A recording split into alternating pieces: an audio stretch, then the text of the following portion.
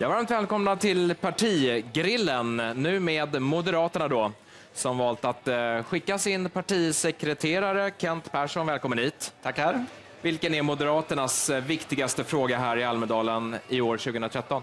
Det är jobben. Eh, Det är också det som jag tror kommer bli valets viktigaste fråga. Och det är klart att vi har nu lagt grunden för att återupprätta arbetslinjen. 200 000 fler är i sysselsättning och det är ett bra första steg, men vi är inte nöjda.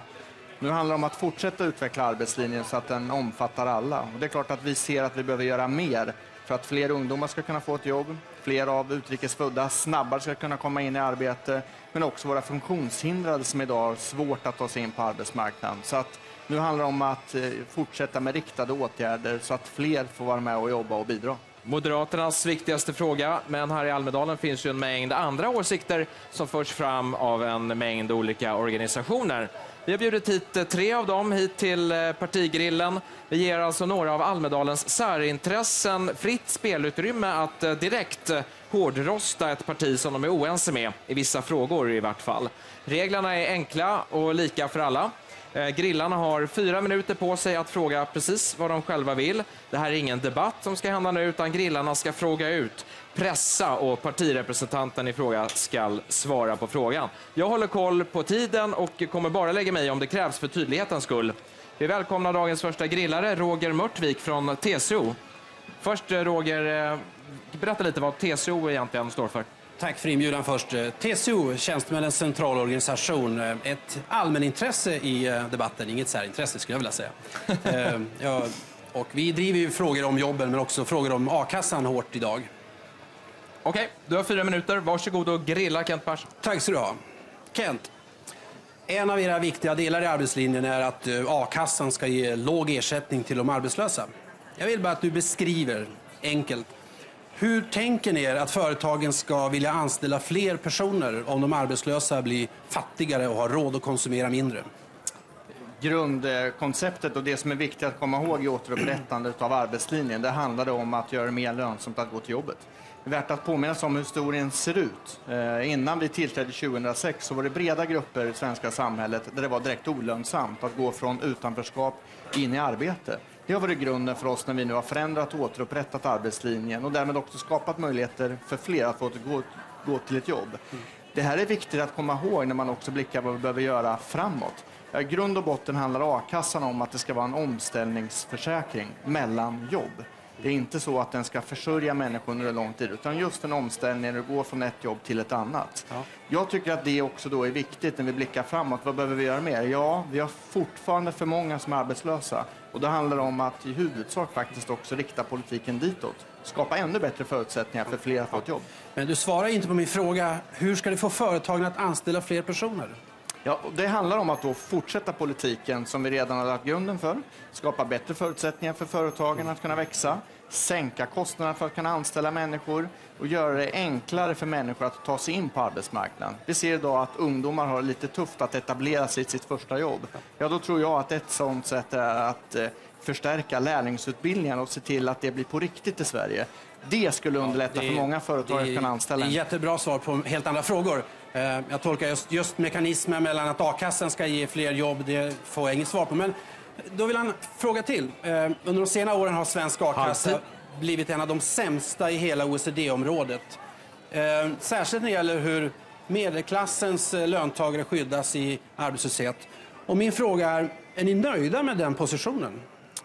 Vi har kommit en bit på vägen och det är vi nöjda med, men det finns mer att göra och jag tycker att även fortsättningsvis så vill vi vara en regering som ska fokusera på att människor får ett jobb. Låt oss ändå vara överens om att det är utgångspunkten för att kunna försörja sig långsiktigt. A-kassan ska vara just en ersättning under mellanperioden. Då tror jag också att det är viktigt att politiken fokuserar ännu mer på hur kan vi skapa bättre förutsättning för företagen? Ja, jag tycker att eh, arbetslinjen som vi idag har behöver förstärkas också med en företagslinje där vi skapar ännu bättre förutsättningar för små företag att kunna anställa en till. Ja, Det var ett bra svar, men på en helt annan fråga. Men jag har slutligen en fråga till. Tycker du att a-kassan är ett bidrag eller en försäkring? A-kassan är en ersättning mellan två jobb och jag tycker att jag har svarat på frågorna för det viktiga framåt för företag är att de får bra förutsättningar för företagen att kunna växa och kunna anställa fler. A-kasseersättningen ska vara på en sån nivå att man kan vara trygg i att kunna försörja sig just i resan mellan två jobb. Så det är alltså en försäkring? Det är en försäkring. Vem är det som betalar till den försäkringen? Det betalar ju du själv som arbetsgivare och det gemensamma. Och varför får man då inte ersättning för den inkomst man förlorar som man har försäkrat? Ja, vi har ju ett system där vi har fastställt vad som är nivåerna och det vet ju du att det är ett politiskt eh, beslut i, i grund och botten kring vilka nivåer vi ska ha. Jag tycker bara att framåt så måste vi fokusera på det som är den stora samhällsutmaningen. Det är att få fler i arbete, inte färre. Tack så mycket. Roger Mortvik från eh, TCO som på sin hemsida skriver att de är en centralorganisation för 15 olika fackförbund som tillsammans samlar omkring 1,2 miljoner eh, svenskar medlemmar i partigrillen, alltså med Moderaterna. Och det är dags för grillare nummer två. Välkommen nu Sonja Pettersson från organisationen Jag vill ha bostad.nu. Tack ska du Jag ha. måste ändå fråga dig, vad vill ni ha? Jo, vi är en organisation för och med unga bostadssökande och andra som har tröttnat på bostadsbristen och vi vill göra någonting åt det. Jag förstår, du har fyra minuter på dig att grilla eh, Moderaterna. Varsågod, grilla. Eh, det du, Moderaterna och regeringen har gjort under er mandattid, det är ju att ni har eh, öppnat upp för att det ska bli lättare att hyra ut i andra hand. Då har ni också försvårat eh, andrahandshyresgästers ställning på marknaden. Det har blivit otryggare att hyra i andra hand och priserna har också blivit dyrare i storstäderna. Tycker du att en otryggare boendesituation och högre hyror är ert bästa svar på bostadskrisen? Eh, inte alls. Eh, vi har ju försökt att förbättra förutsättningarna för en andrahandsmarknad att fungera. En marknad som innan de här förändringarna var i väldigt stor del i den svarta sektorn. Tro mig, det skapar inte starka förutsättningar för hyresgästerna att befinna sig på en svart marknad. Utan nu skapar vi bättre förutsättningar för transparens och också faktiskt förutsättningar för fler att kunna hyra ut bostäder som man inte använder i storstäderna. Det kommer att gynna de unga på sikt att kunna komma in lättare att få, få, få hyra en bostad i andra hand. Men när du pratar om att det öppnas upp fler luckor för att få hyra bostäder, då går inte de till unga. För vi är i en situation där bostadskrisen är så stor. Eh, så det är många som konkurrerar om de här bostäderna. Priserna trappas upp om andrahandslösningen är det enda svaret. Då kommer inte unga att få de här bostäderna. Vi tror att det enda svaret är att bygga mer. Det behövs byggas mer och det behöver riktas till unga så att vi kommer in. Så att vi kan flytta dit jobben finns också. Det är en viktig fråga för er. Vad är frågan? Frågan är, eh, hur tänker ni från staten se till att kommunerna tar ansvaret och bygger mer? Jag håller med dig, för dela den beskrivningen. Att jag håller med om att vi behöver göra mer på bostadsmarknaden och framförallt för unga som ska in i de regionerna där det finns jobb och där högre utbildning finns och universitet så är det idag bostadsbrist på en del håll och kanter. Det vi har gjort från regeringen precis alldeles nyss är att vi har signalerat att vi kommer att lägga större krav på bostadsförsörjningen på ett kommunalt perspektiv. Det vill säga att man får ta ett större ansvar i kommunpolitiken för att se till att detta fungerar. Jag vill säga det att det är ett av problemen idag, grundproblemen, det är att det tar för lång tid från beslut till dess att byggnaderna och bostäderna är, är på plats. Den tiden måste kortas ner. Och väldigt mycket av det ligger också i, i hur vi utför bygg och planlagen. Det får vi titta på, men vi måste också se till att den kommunala sektorn tar sitt ansvar för att snabba på processerna.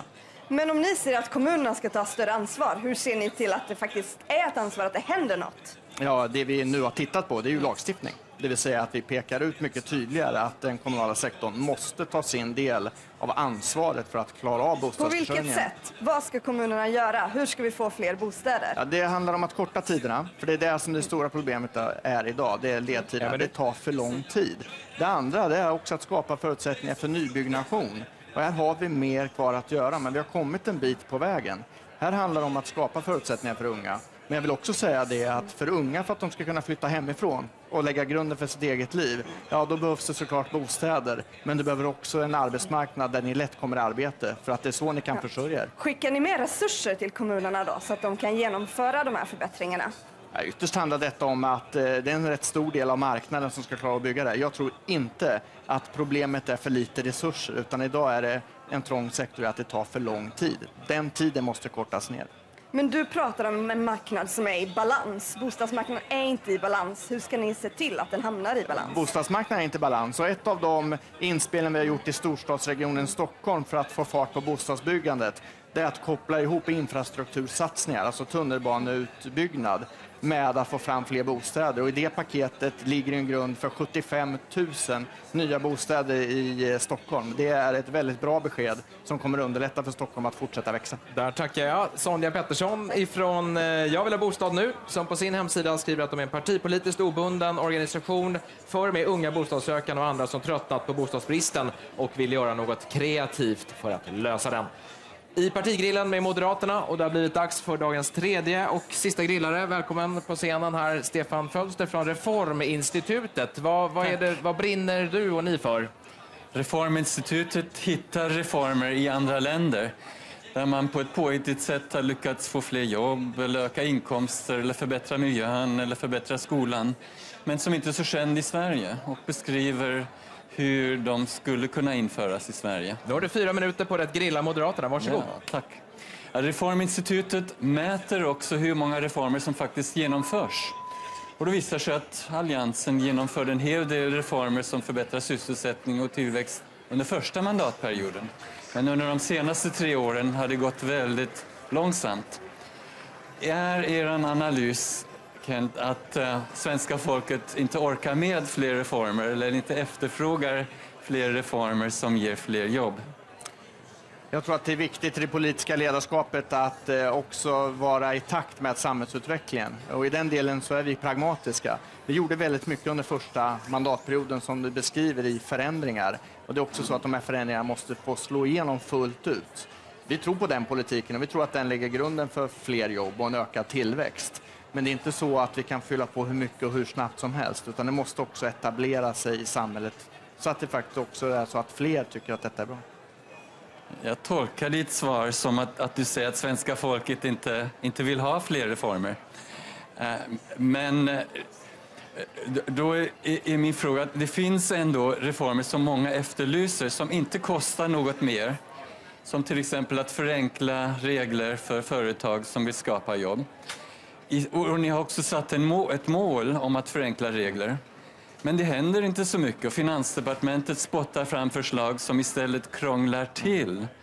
Hur är det förenligt med era tidigare ambitioner eller överhuvudtaget med ambitionen att öka sysselsättningen? Ambitionen att öka sysselsättningen kvarstår. Det är Alltid. valets viktigaste fråga, att få fler i jobb. Vi är inte reformtrötta och det är inte heller så att vi är trötta, regeringströtta, utan vi ser med kraft och energi på att möta väljarna nästa valrörelse för att återigen vinna förtroendet att fortsätta förbättra Sverige. Vi har kommit en bra bit på vägen de här sju åren, men jag förstår också att det finns de som vill mer. Vi har inte gått till val på att eh, göra revolution. Vi har gått till val på att bygga Sverige starkt utifrån den den eh, plattform Sverige har. Mycket är bra idag, men jobben behöver bli fler. Tittar vi på företagen så är det alldeles sant och riktigt att vi behöver förenkla för dem och minska byråkratin. Vi har gjort en del, men inte tillräckligt. Så att jag tror att ambitionen inför nästa mandatperiod måste vara att vara ännu tydligare i att, att göra detta. Men det är lättare sagt än gjort. Det ska man också vara medveten om, att det är många som eh, är med och lägger eh, regelverk som tynger företagen, både på lokal nivå och på nationell nivå. Ett annat område där väldigt lite händer just nu, en minut. det är Arbetsförmedlingen som många är väldigt missnöjda med. Kommuner bygger egna alternativ, ingen vet vad som fungerar.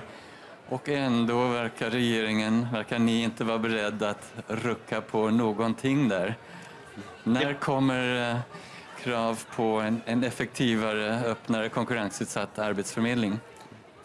Det vi har fokuserat på är att ta fram åtgärder som underlättar för människor att få, få jobb. Eh, och jag också hör signalen kring att en del företagare inte tror på, på Arbetsförmedlingen. Det får vi fundera på att ta till oss hur vi kan skapa bättre förutsättningar. Men jag tycker ändå att politikens uppgift i det stora perspektivet, det måste vara att ta fram åtgärder som gör det lättare för företagen att driva företagsamhet och lättare och enklare att anställa människor. Det har vi gjort. och Den resan ska fortsätta. Och där är tiden ute. Och jag får tacka dig så mycket, Stefan Fölster från Reforminstitutet, som på sin hemsida skriver att de ska uppmärksamma innovativa lösningar på Sveriges utmaningar. Ja, Kent Persson, det var ju ganska ganska hård press stundtals. Hur kändes det? Jag tycker det kändes bra. Eh, viktiga frågor som vi har resonerat kring och det är klart att eh, jobbfrågan var ett tema i detta.